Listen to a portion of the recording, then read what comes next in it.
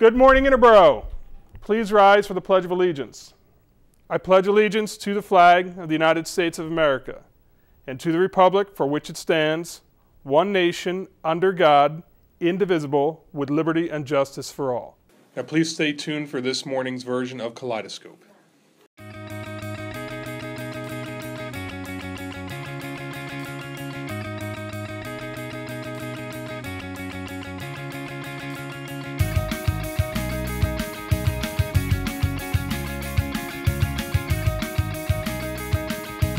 You're watching IHS TV.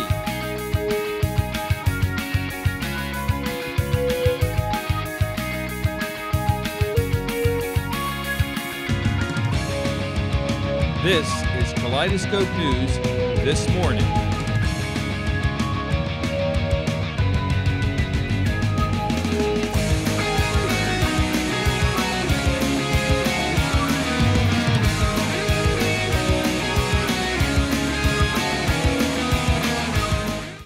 Morning, Interboro High School. This is Jay And Dimitri, with the announcements for Friday, February 20th, 2015. do you have a talent, either real or fake? Sign up for this year's Mock Rock to be held Wednesday, March 11th. The sign up forms and info sheets are on the counter in the main office. The last day to turn in frosh money is Thursday, February 26th. Money may only be turned into Mrs. Werner or Mrs. Salisbury in room 311. All bills must be paid in order to attend, and no money may be turned into anyone other than Werner or Salisbury. And now over to Chris with the weather.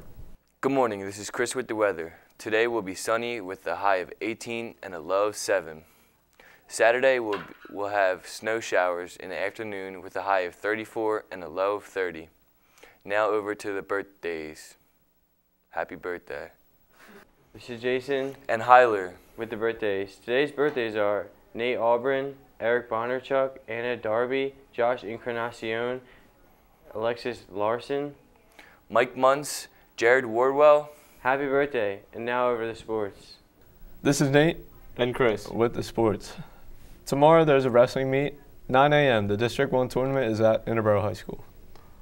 The Meet of Champions is tomorrow at Lehigh University for boys track. In other sports news, the Flyers play again Saturday at 1 against Vezina frontrunner Pekka Rinne and the NHL's best Nashville Predators. The NBA's worst New York Knicks shut down superstar Carmelo Anthony for the season on Wednesday after he needed knee surgery. Duke, Duke edged UNC in OT Wednesday night after UNC blew a 10 point lead in the last two and a half minutes. Freshman Tyus Jones led Duke's comeback with 22 points, 14 of them coming in the second half and overtime. To keep up to date on game schedules, check out the athletics page on the Interboro School District website or follow us on Twitter and Instagram at GoBuckSports.